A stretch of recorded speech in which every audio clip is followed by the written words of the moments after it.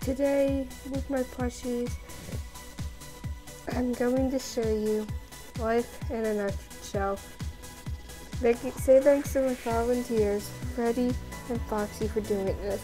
No, I think Five Nights at Freddy's are, Five Nights at Freddy's is cringy, but I got these cute little plushies upstairs on my bed, and we can some funny with them. So let's have fun doing that job. It is my favorite thing to do. Chilling, hanging out. Say hi to my friend. Watching TV. Totally not the Super Bowl because we all know that madness. Oh, I don't care. We're drinking. I like anime.